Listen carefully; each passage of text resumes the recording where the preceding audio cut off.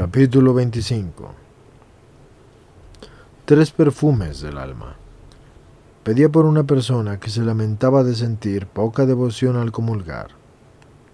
Matilde hacía esto, así que le comunicó de parte del Señor.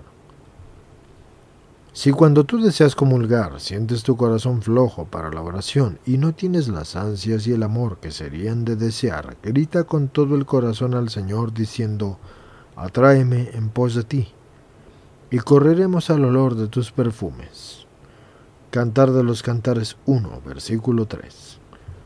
En la palabra atráeme, piense en aquel amor poderoso e inmenso que trajo al Dios omnipotente y eterno al suplicio tan ignominioso de la cruz.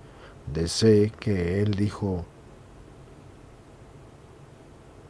Cuando yo sea elevado sobre la tierra, atraeré todo hacia mí. Juan 12, versículo 32. Así pues, atraiga hacia sí tu corazón con todas las fuerzas del alma y te haga correr por el amor y el deseo, al olor de esos tres perfumes que brotaron a torrentes de la nobilísima perfumería de su dulcísimo corazón hasta inundar los cielos y la tierra. El primer perfume es el agua de la flor de rosa, que hizo destilar el amor divino de la nobilísima rosa que es el pecho del Señor con el fuego de la caridad. Te ungirás con este perfume para lavar el rostro de tu alma. Buscarás con diligencia si hay en ella alguna mancha de pecado, y suplicarás que sea purificada en la fuente de la misericordia que limpió al ladrón en la cruz. El segundo es el vino tinto, es decir, la sangre santísima, que extrajo el lagar de la cruz y brotaba juntamente con el agua de la rosada herida de su corazón.